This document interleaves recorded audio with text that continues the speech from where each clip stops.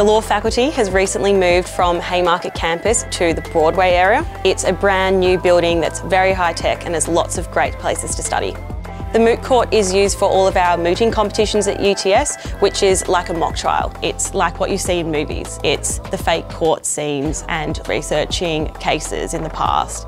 There's televisions all around the room, everyone can be mic'd up and we can even do video links to people in other locations. These days a lot of video links are happening between states or even internationally and with cameras in these rooms we can do exactly that.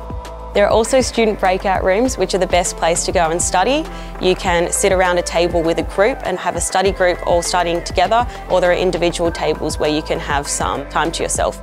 We also have a really nice new winter garden, so you can study outside as well.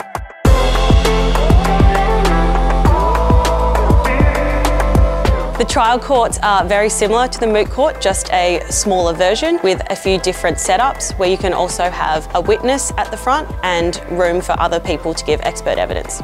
If you do a UTS faculty moot, you can use the moot preparation room. It's got special swipe card access and you can go in there and have some quiet time to prepare on a moot, practice your orals or write your written submissions.